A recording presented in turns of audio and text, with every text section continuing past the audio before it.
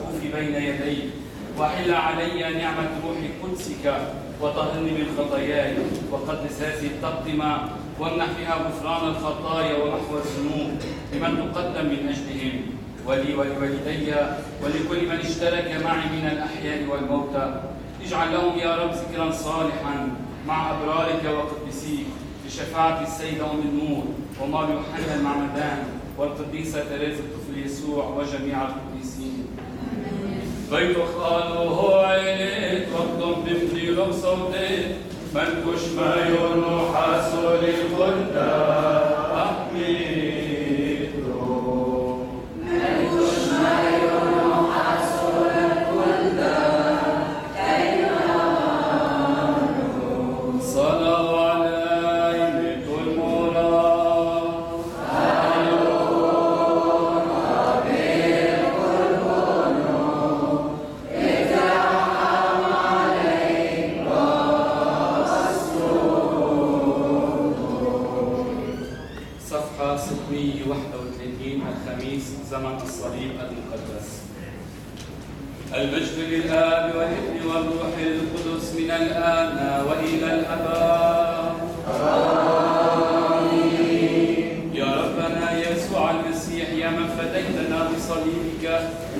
الأمان وراية الظفر وسلاح الخلاص. واسترنا في حماك بقوة يمينك القادرة على كل شيء. فنشكرك ونسبحك وأباك وروحك الحي القدوس. الآن وإلى الابد آه.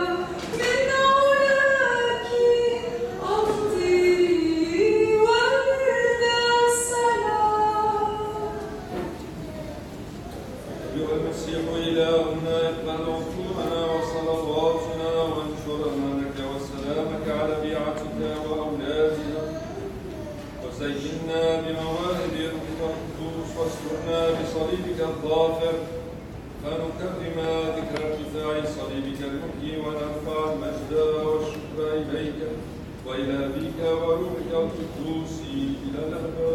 you.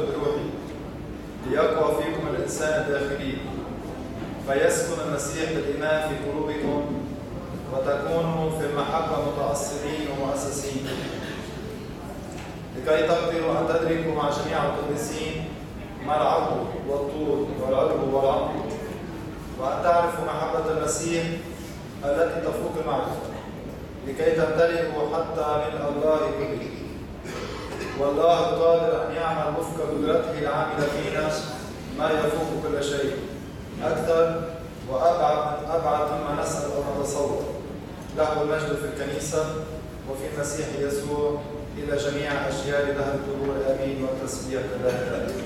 آمين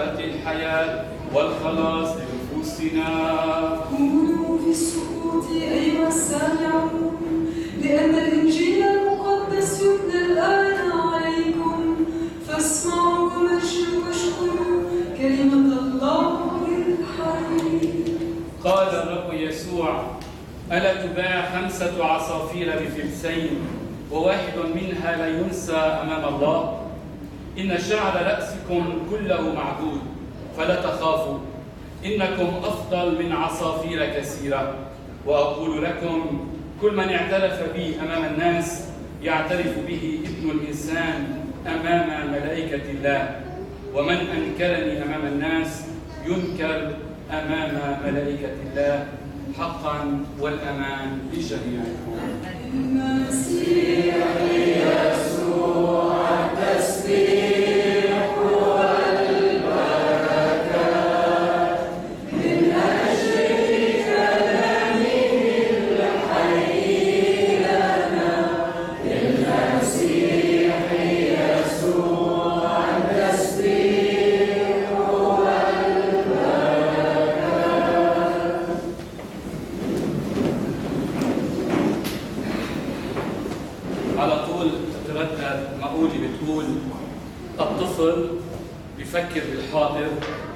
الشاب بفكر بالمستقبل والعجوز يفكر بالماضي.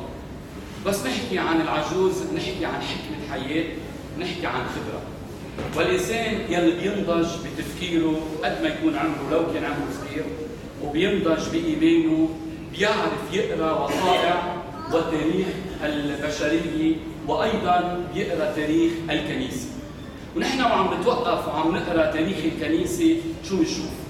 بنشوف كنيستنا منا كنيسة جامدة كنيسة قال عنها المؤسس تبعها يسوع المسيح. هناك أمور كثيرة أريد أن أقولها لكم حكي مع التلاميذ. ولكن الآن لا تطيقون سمعها. متى جاء الروح القدس؟ أرشدكم إلى الحق كله. ونؤمن بعمل الروح القدس بقلب الكنيسة يلي عم يحكي من خلال أشخاص عم يحكي من خلال وقائع. عم يحكي من خلال قديسين كانوا كبار وكانوا صغار وإنما الروح لا ينطفئ من هؤلاء الأشخاص في القديسه تريز طفل يسوع يلي نحن بنعيد عيدها اليوم. يلي توفت ب 29 أو 30 أيلول 1897 عم نحكي عن شخص مات من 100 وشوي. نعم حكينا عن قبله عن شخص مات من 2000 سنة يلي هو يسوع المسيح. هالفتاة يلي ماتت عمرها 24 سنة.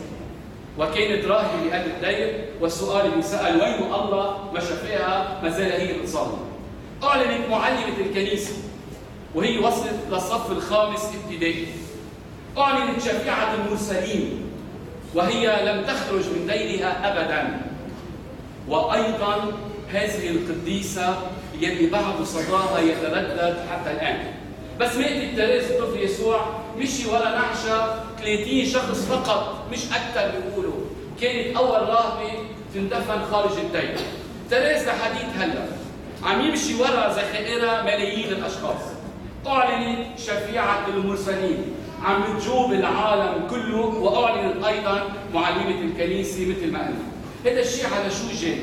على شيء هالصبية يلي اختبرت بطريقة أو بأخرى حب الله لإلها. واختبرت حب الله يلي ما بيمكن ابدا يتغير. والله لا يأتي منه إلا الخير. وكل التشويهات يلي صارت عن الله مش قالوا إنه الله بعيد عنا قالوا الله بيغضب علينا.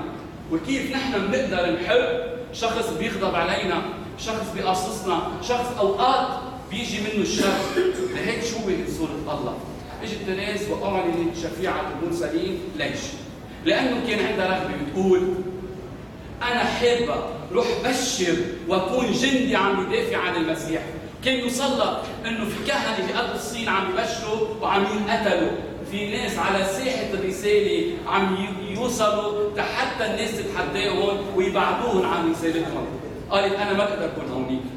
أنا بدي أكون قاعدة بقلب دايري عم صلي لهم كانت رايدة إنه تكون كاهن عم يحمل جسد المسيح بإيده. وإنما قالت ما راح أقدر أكون. وإنما أتيت إلى الكرمل لأصلي من أجل الكهنة.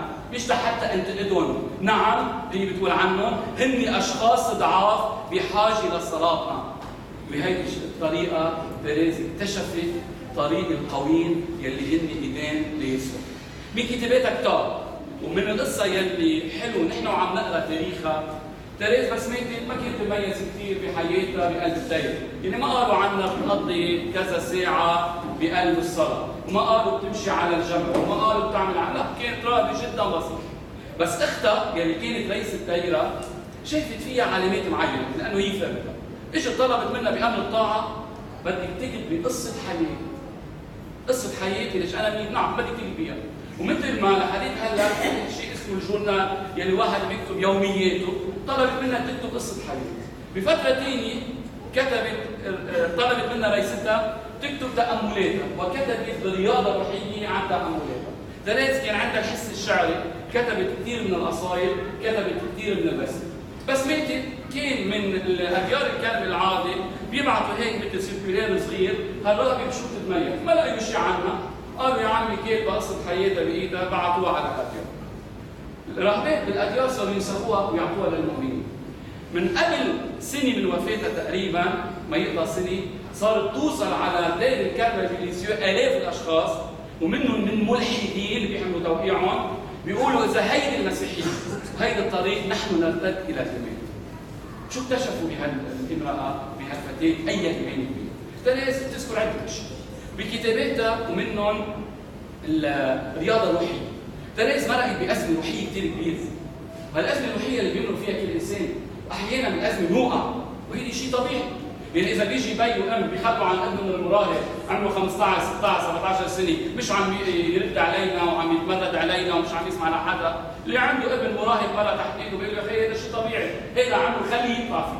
الإنسان اللي ماشي بصوب ربنا بيقطع بأزمات إيمان.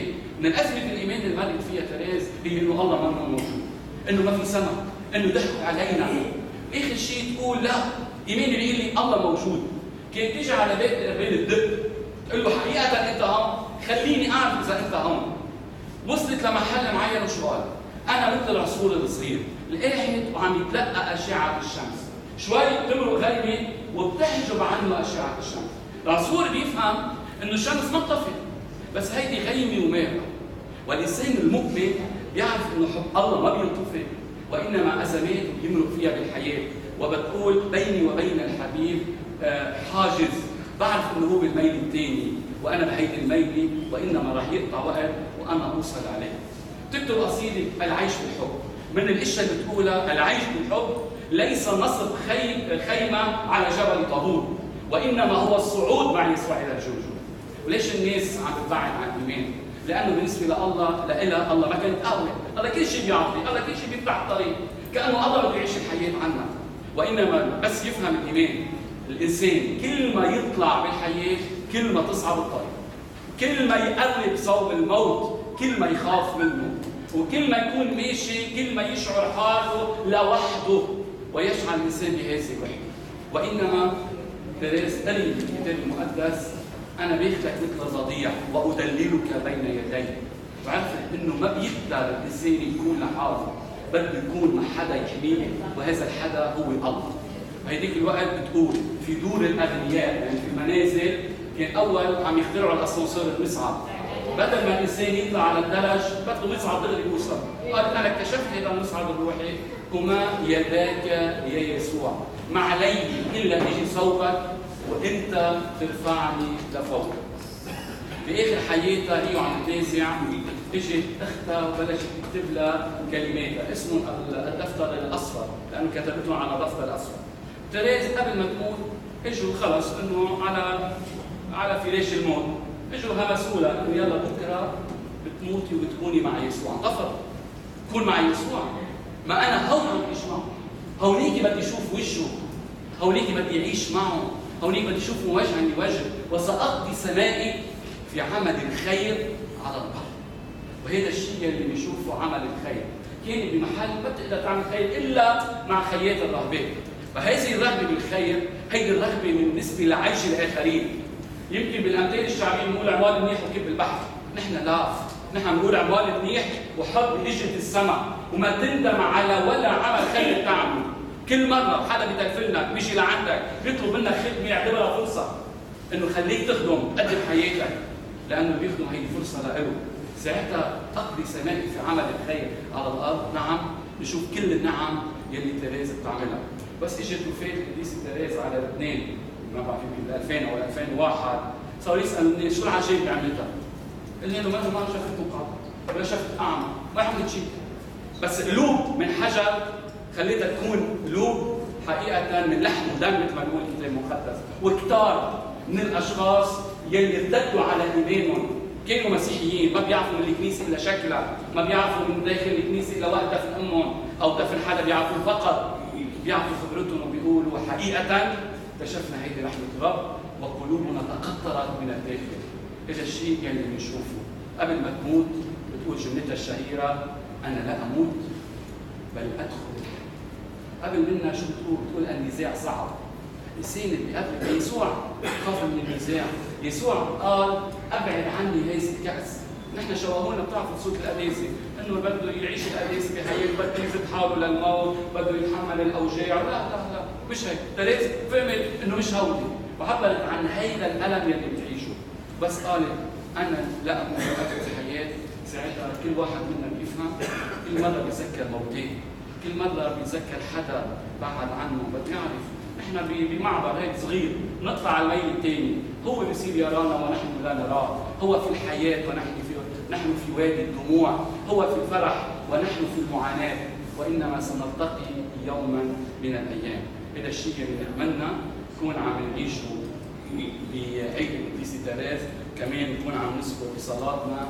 خينا لويس نصر يلي كمان ودعناه من كم شهر وحضور عائلته معنا. نتذكر كل موتينا لحتى نعرف إنه نحن ماشيين على الطريق. هلأ عم نصلي من أجل موتينا على أمل يجي حدا بيصلي عنا وإنما المهم يكون كلنا سوا مجتمعين باسم الرب له المجد إلى الأبد. نؤمن بإله واحد.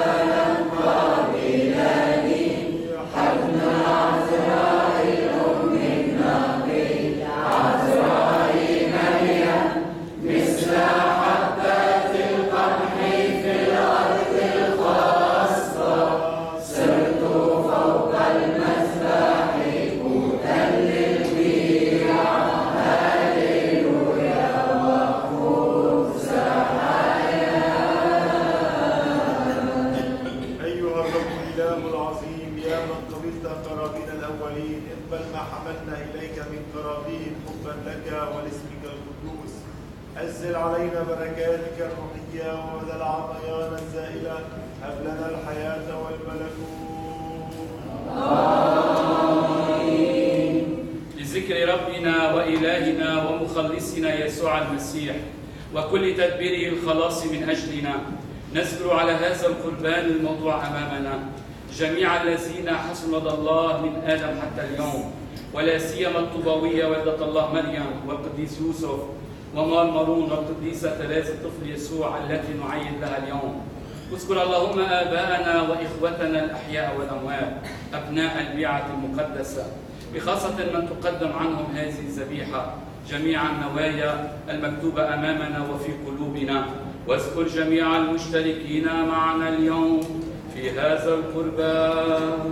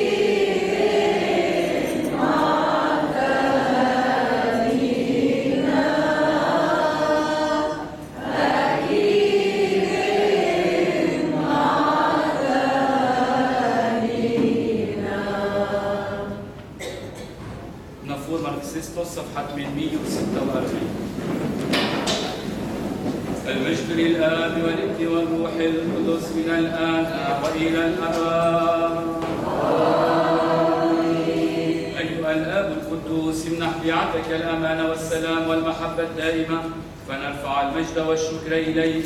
وإلى ابنك الوحيد وروحك الحي القدوس الآن وإلى الأبد. السلام لك يا مسبح الله. السلام للأسرار المقدسة الموضوعة عليك. السلام لكم آبائي كهنة المسيح. السلام لكم يا خدام الروح القدس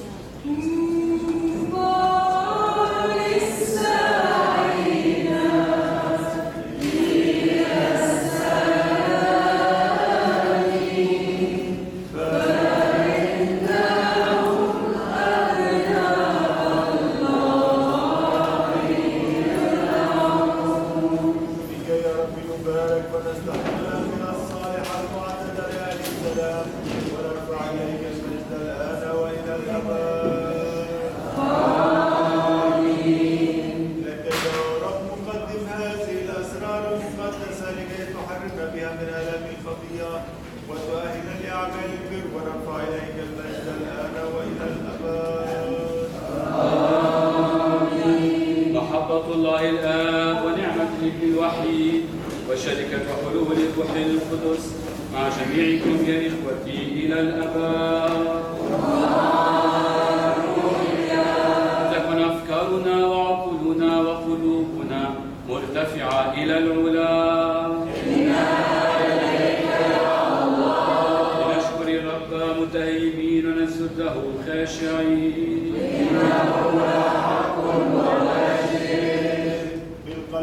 بالقلب والعقل واللسان نشكرك اللهم الاب والابن والروح القدس. يا من أنت هو الاله الواحد الحق.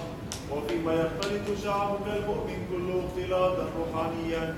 في الجموع التي لا ترى والصفوف التي لا تحصى.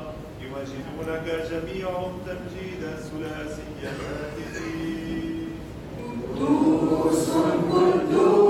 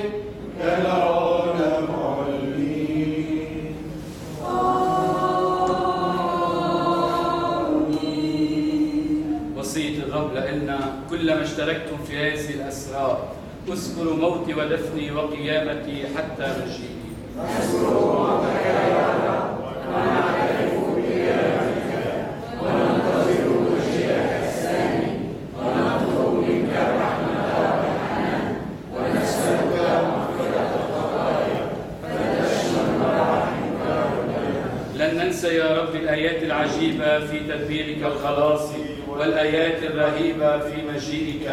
الذي فيه ستجازي كل إنسان بحسب أعماله. ولذلك تطلع إليك بعبدك ورعيتك. وبك ومعك إلى أبيك وهي تقول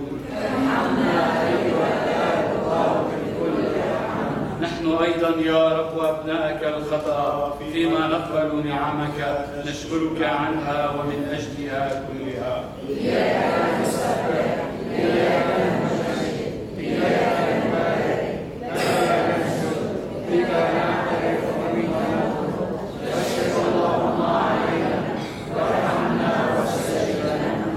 ما أرهبها ساعة أحبائي ينحدر فيها الروح الحي القدوس ويحل على هذا القربان موضوع لتقديسنا فلنقف مصلين خشعا يا رب ترأف بنا وبكل ميراثك وارض هذا القربان. حلول روحك القدوس المنبسط منك. اللهم الآب أزليته والآخذ من ابنك بجوهره استجبنا يا رب استجبنا يا رب استجبنا يا رب. وليأتي روحك الحي القدوس ويحل علينا وعلى هذا القربان.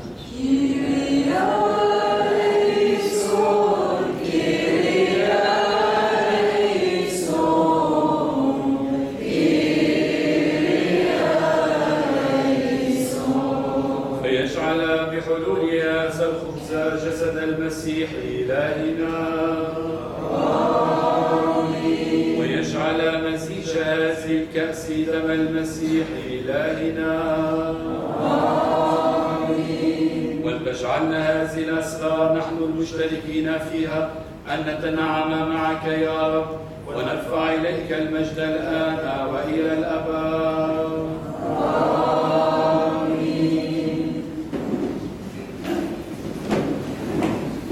كن يا رب ضد التعليم. وسعد أبائنا وبروبا وبطرتنا وبطراننا والأساقفة لكيف بحياة تنوب فيها. يدبر كنيستك بنقاوة وقداسة ويقدم لك شعبا ممكنا يكرم اسمك. نسألك يا رب.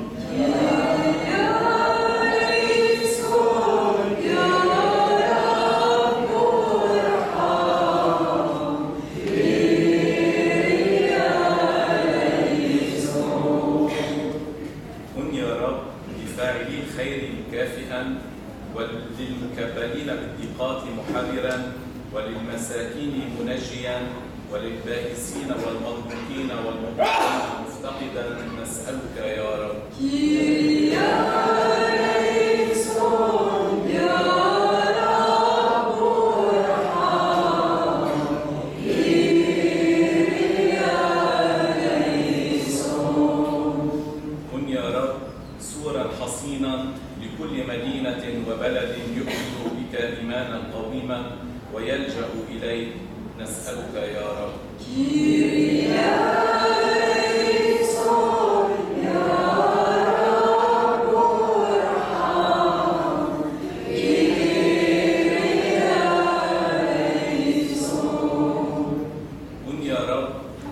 مقويا الذين يلتجئون إلى ذكر أم مسيحك وإلى القديسين الذين أرضوا لا سيما مرمرون ومار يوسف والقديسة تريزا الطفل يسوع وأهلنا وموتانا بنعمتك لخيراتك الأبدية التي أعددتها لنا نسألك يا رب.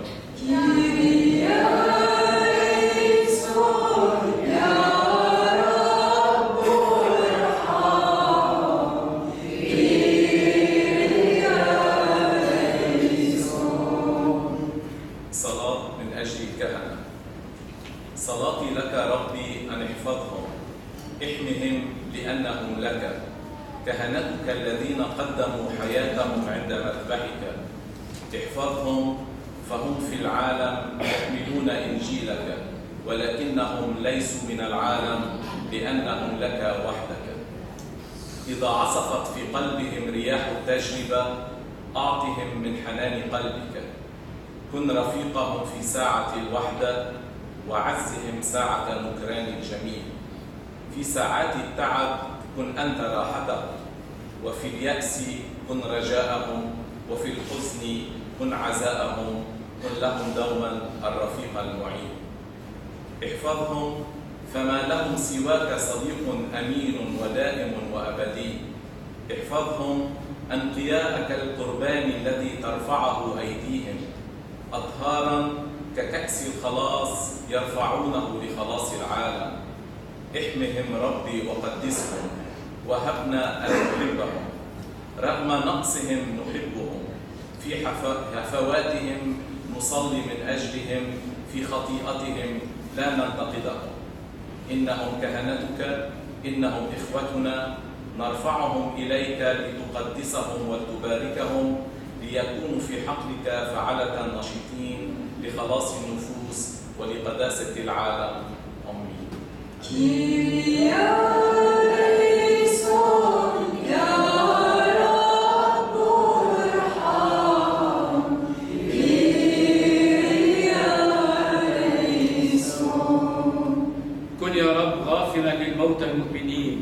الذين خلصوا بموت ابنك الوحيد. فإذا خلصنا من الموت ونجونا من الجحيم ونهضنا من مطامير التراب عظمت علينا وعلى أمواتنا نعمة ابنك الوحيد الذي نرجو بواسطته نوال المراحم وغفران خطايانا وخطاياهم.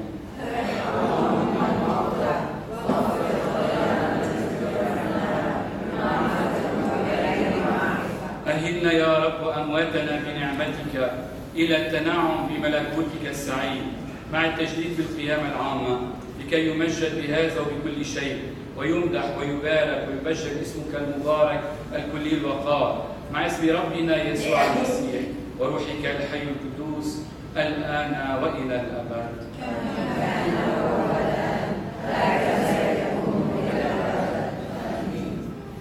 أمام كأسك